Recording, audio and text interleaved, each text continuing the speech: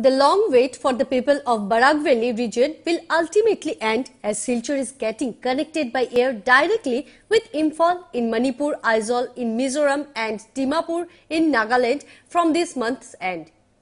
The Silchar direct flight under Udan 2.0 scheme was supposed to start on 30th October as declared by government run Alliance Air but without any intimation it didn't start the operation which led to disappointment and media reporting the same.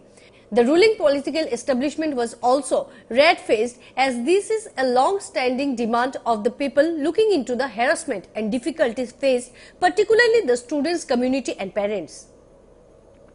Silchar is one of the educational hubs of the NE region, but the place is handlocked due to the neighboring Bangladesh and poor road infrastructure with the adjoining states.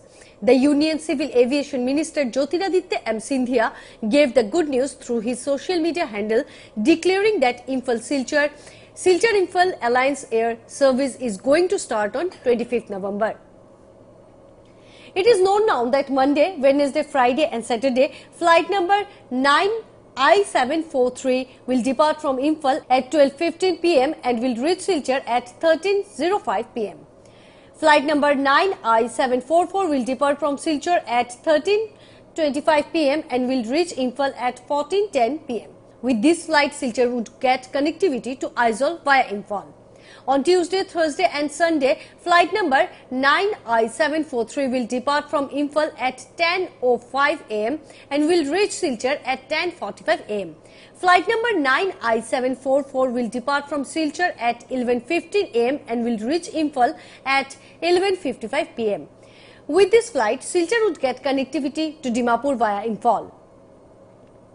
The Chief Minister of Manipur had reacted to this news and had been pushing for this service on his social media handle and Biren Singh thanked the Prime Minister and Civil Aviation Minister. He stated, happy to share that the direct flight between Silchar and Imphal will be launched on 25th November to further enhance the connectivity in the NE region.